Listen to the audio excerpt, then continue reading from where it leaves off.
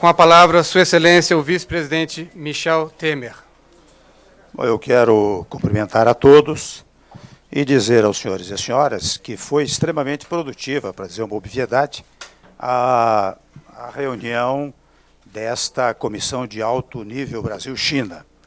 Uh, nós começamos a reunião hoje pela manhã, quando estiveram presentes oito ministros uh, interessados nas questões relativas a Brasil-China, uh, e durante uma hora e meia, quase duas horas, nós debatemos os vários temas de interesse de ambos os países. Sequencialmente, eh, Sua Excelência, o vice-primeiro-ministro Wang Qishan, teve uma audiência com a senhora presidenta Dilma Rousseff, onde reiteraram os vários temas já debatidos aqui e debatidos em 2011, quando Sua Excelência, a presidenta Dilma Rousseff, esteve uh, na China.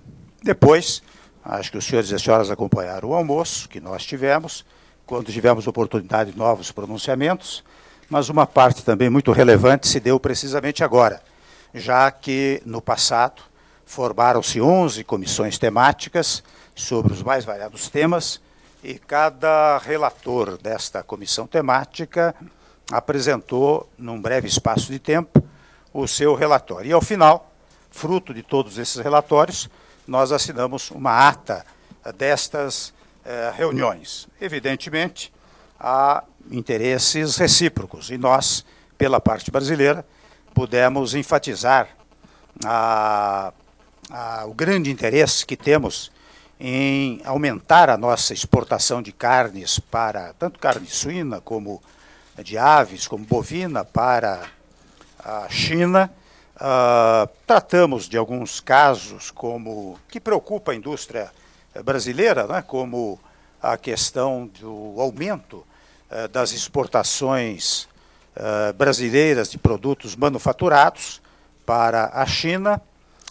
solicitamos que também fosse objeto das preocupações chinesas um eventual eh, dimensionamento voluntário das exportações eh, chinesas eh, para o Brasil.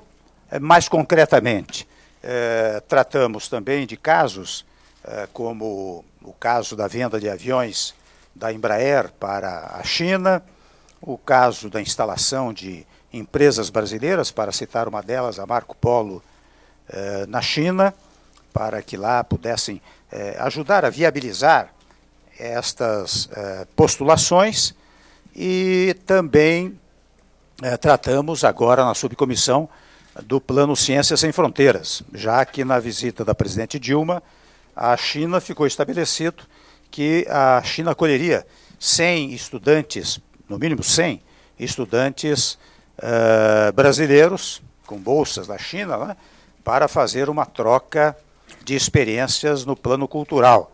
E nesta hipótese do plano cultural, também a formação de centros culturais Brasil-China, porque por meio da cultura nós sabemos que se incrementam as relações eh, dos países que tomam a cultura como um instrumento eh, de cooperação. Ah, também ah, manifestamos-nos sobre a atuação dos dois países, Brasil e China, nos BRICS, e no, na coordenação do G20. E, naturalmente, eh, acertamos que trabalharemos sempre juntos, eh, não só na formulação, no fortalecimento do, do BRICS, eh, como da sua ação conjunta na coordenação uh, do G20. Não é? E, finalmente, eh, nós estabelecemos com esta a certeza de que esta reunião da COSBAN incrementará ainda mais as relações entre o Brasil e a China. Tanto que eu solicitei, com a concordância de Sua Excelência, o vice-primeiro-ministro Wang Qishan, que ao invés de fazermos a reunião, a próxima COSBAN, daqui a dois anos, que a fizéssemos logo no ano que vem, até o final do ano que vem. E Sua Excelência já acedeu, colocará os seus ministros, ministros, eh, em contato com os nossos ministros, para que nós possamos realizá-lo. E neste entretempo, evidentemente, haverá contatos das várias áreas uh, brasileiras, os nossos ministérios, com os ministros da China. Em palavras finais, uh, foi este um resultado, um resumo brevíssimo eh, das reuniões que fizemos, mas eh, nós nos congratulamos, a nós todos, pela oportunidade deste encontro e pela eficiência e objetividade deste mesmo encontro. 下面请王岐山副总理致辞。 Agora convidamos o vice-premier Wang Qishan a fazer as suas palavras. Senhores amigos jornalistas,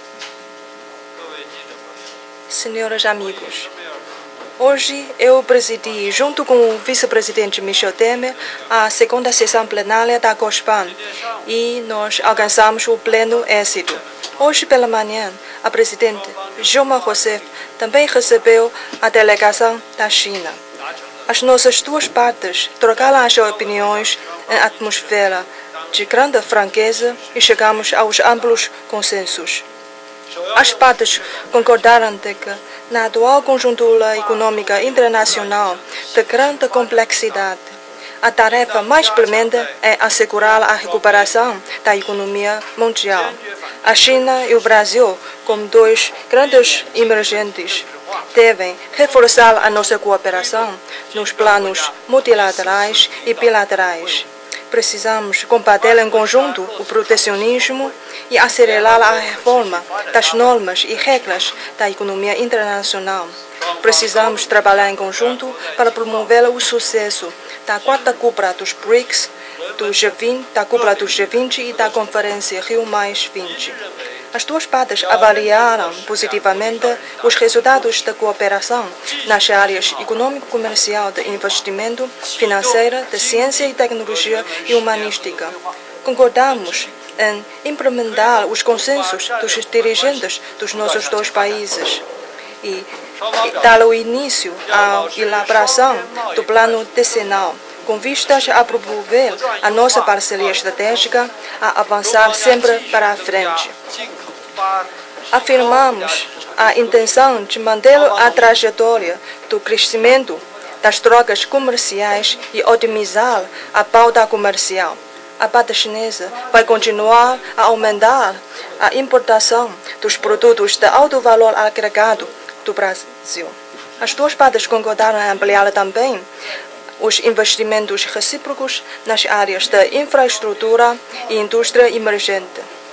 Vamos apoiar a outra, as instituições financeiras da outra parte para se estabelecer no terreno nacional e promover a participação de moedas nacionais no comércio bilateral e fomentar o intercâmbio entre os mercados de capital. As duas partes concordaram também em intensificar a nossa cooperação na área de ciência, tecnologia e inovação. Em 2014 e 2000, em 2012 e 2014 serão lançados, respectivamente, os CIPERS 3 e 4.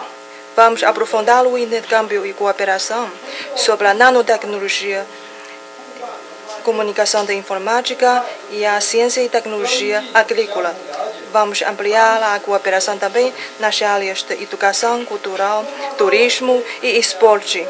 Vamos consolidar a base social, também por meio do estabelecimento de centros culturais e troca de estudantes.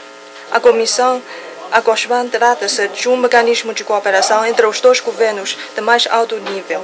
Vamos aproveitar bem essa plataforma para criar em conjunto um bom ambiente de cooperação. Eu acredito que com os esforços conjuntos das duas partes, o nosso futuro será ainda mais esplêndido. Obrigado aos amigos jornalistas.